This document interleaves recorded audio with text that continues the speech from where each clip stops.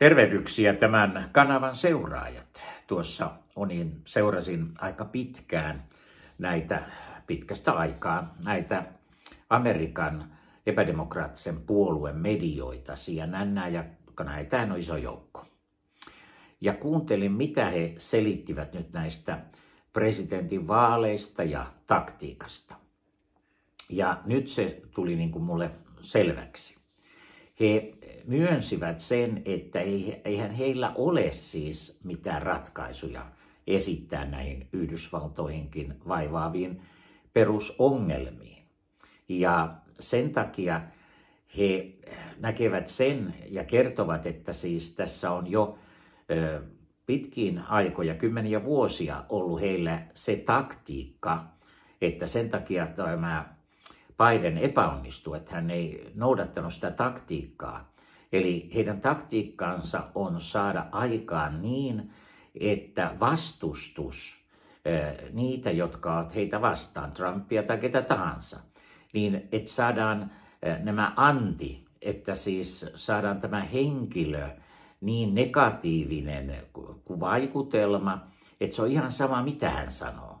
Siis mitä tahansa Trump edustaa tai sanoo, niin he sanoivat, että tämä anti-Trump-kampanja, niin se on ollut tehokas. Siis ylipäänsä tämmöinen anti, sehän luontaa juurensa siihen, kun republikaaneissa oli tämmöinen korruption ja eliitin vastainen liike syntynyt ja se sai aika paljon jo kannatusta, niin siinä meni kymmenen vuotta, kun se tuhottiin kaiken maailman parjauskampanjoilla ja silloin siltä alkaen nämä parjaamiset on olleet jo osana tätä vaalikampanjaa.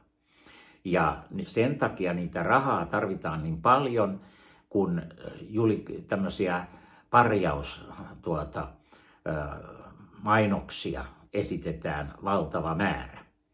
Ja nehän ei perustu, ne mielikuviin eikä mihinkään tosiasioihin. Ja te voitte kuvitella, minkälaista kampanjaa sitten esimerkiksi Trumpia vastaan käydä.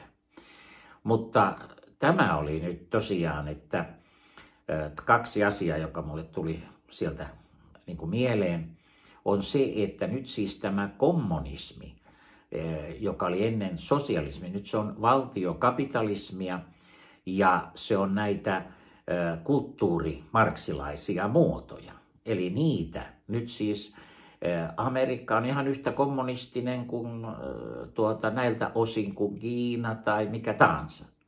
Ja Suomi ihan samalla lailla. Siis meidän tämä äärivasemmistoa ei sanota äärivasemmistoksi, koska tätä äärilinjaa on nyt, se on ajettu niin pitkälle läpi.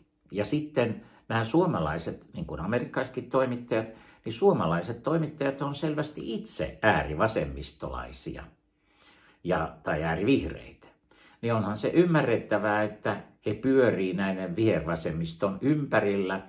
Kokoomuksen he nyt jollain lailla sietää sen takia, että kokoomuksesta riippuu, ilman kokoomusta on vaikea päästä vihervasemmiston hallitukseen.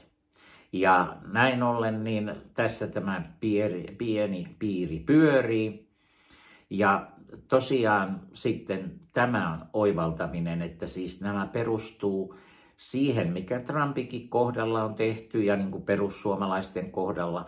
Se on kaikki sieltä Amerikassa, se on psykologinen juttu, että kun sä saat aikaan hyvin negatiivisen kuvan, sen siis ei tarvitse perustua mihinkään tosiasioihin, vaan sulle ajetaan vaan, hoetaan tiettyjä asioita, irrallisia tuota, lauseita otetaan joltakin, sunnetaan pelkoa, kuvia, kaikenlaista väitetään, niin kuin Trumpista, että hän olisi jotenkin NATO-vastainen, kun hän nimenomaan ajoi voimakkaampaa NATOa niin, että NATO itse satsaa oman Naton puolustukseen, nämä NATO-maat, että se ei ole Yhdysvaltojen varassa ja niin edespäin. Itse asiassa kaikki ne, mistä Trumpia on syytetty, niin nehän on olleetkin ihan hyviä juttuja, mitä hän on ajanut. Mutta kun on käännetty päälailleen ja ihmiset on alkaneet niitä uskoa, kun niitä vaan toistetaan ja toistetaan.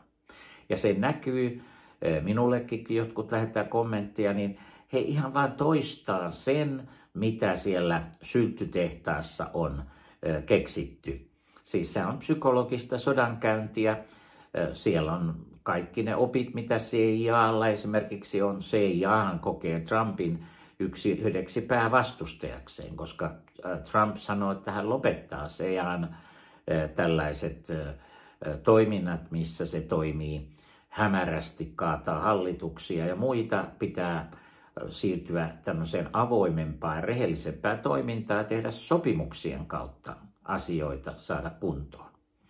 Joka tapauksessa tämä on aika erikoinen aika, koska yhä enemmän tuolla Amerikassa esimerkiksi tuota, tämä viha on mennyt jo niin pitkälle, että siellä tosiaan puhutaan e, tuota, Trumpin surmaamisesta ja kehotetaan siihen, eikä nämä somet ovat, eivät ole puuttuneet siihen. Siellä on ihan hirvittävästi tällaisia näkemyksiä. Ja nämä ihmiset Suomessa esimerkiksi, jotka vihaa Trumpia, ne ei varmaan tiedä Trumpista oikeasti juuri yhtään mitään. Mutta tämä tällainen kampanjointi, joka perustuu vain negatiivisen kuvan luomiseen vastustajasta, niin eihän siinä ole mitään järkeä, koska pitäisi katsoa, mitä kukin on saanut aikaiseksi. Jos Bidenia verrataan, niin Biden on saanut mitään aikaiseksi. Sanokaa nyt, mitä hän on saanut aikaiseksi. Ei, ei kyllä, ei ne demokraatitkaan oikein keksi, että hän olisi saanut oikeasti mitään aikaiseksi. Ja Trump saa, sai paljon aikaiseksi. Ja sen takia sitä ei voi edes käsitellä, mitä Trump sai aikaiseksi, eikä sitä, minkälaisia toimenpiteitä hän tekee, tekisi Yhdysvaltain ongelmien ratkaisemiseksi. Vaan sen sijaan huudetaan näitä kolmea pääsyytestä, että Trump on diktaattori ja irrottautuu Natosta ja EUsta suurin piirtein. No EUssahan ei olekaan. Mutta että siis tämmöisiä pelkojuttuja ja sitten tätä aborttijuttua, kun Trumpin kanta siinä on hyvin sovitteleva. Ja aika vaikea tuota, mutta näinhän nämä sanokin, että, että nämäkään tiimet, teemat ei nyt oikein ole purru ihmisiin tarpeeksi, että täytyy vaan negatiivista kuvaa Trumpista fasistisena, rikollisena, minä tahansa. Ja kuitenkin siellä Bidenilla on yli 20 000 sivua todistusaideksia kuultuja jut, tuota, kongressin komitean kuulemisia, jossa on, tulee esille sekä hänen että hänen seitsemän perheenjäsenensä, tai siis siinä se velikin, niin vakavista rikoksista, jossa on kysymys pedofiliasta, ihmiskaupasta, lahjusten vastaanottamisesta, maanpetoksesta, vaikka mitä. Ja tosiaan, että tämä yksi Bidenin hallinnon keskeisesti paikalla ollut henkilö kirjoitti kirjan, jossa hän kertoi Bidenin yhteydestä pedofiliaan. Muun muassa yhteen roomalaiskatolisen kardinaali, joka on pedo, tunnettu pedofiili. Ja tämän kirjan jälkeen niin roomalaiskatolinen joutui irtisanomaan tämän kardinaalin. Mutta edelleenkin hän oli siis seuraamassa tämän Bidenin yhteyksiä näihin pedofiiliojuttuihin. Eli kyllä tässä nyt on aika paljon taustalla oikeasti ihan oikeitakin asiaa. Mutta siitähän ei nyt sitten meidän mediat puhu. Mutta katsotaan, miten tässäkin asiassa edetään. Tällä hetkellä Trump, Trump johtaa valtavan ylivoimaisesti ja se huolestuttaa demokraatteja ja he Heistä monet ovat valmiit sanomaan, että mikä tahansa nyt käy Bidenin tilalle joku demokraatti. Ja ajatelkaa, että siis siellä sanottiin, että Biden valehteli ihan avoimesti, kun hän väitti, että kaikki nämä kuvernöörit oli hänen takanaan, kun niistä useat ilmoitti ihan julkisesti, että eivät ole, vaan vaativat hänen eroon.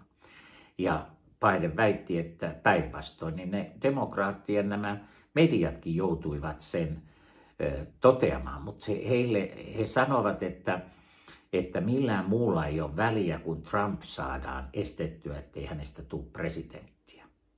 Se on niin kuin se ainut. Siis olla jotain vastaan. Mitään varsinaisesti ohjelmaa heillä ei ole.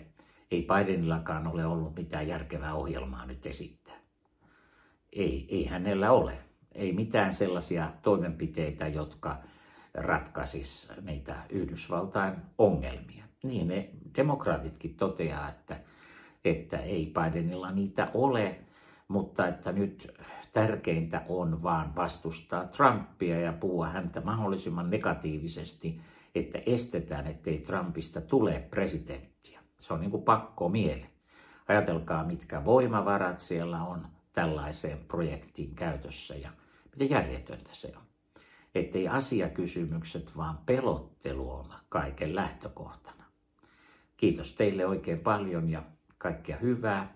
Tilatkaa kanava, kommentoikaa ja yläpeukkuakin voi näyttää ja levittäkää tätäkin videota, että voimme pohtia sellaista asiaa, joka vaikuttaa täällä Suomessa todella paljon. Suomi on, sanotaanko pikku Yhdysvallat on sanottu, me muutimme suuntaan 180 astetta siitä Venäjä-suomettumisista ja nyt Yhdysvaltain yhden poliittisen puolueen ja sen median varassa koko meidän mediamme, päävaltakunnan media on. Ei tämäkään ole kovin järkevää eikä demokraattista. Kiitos paljon. Hei hei.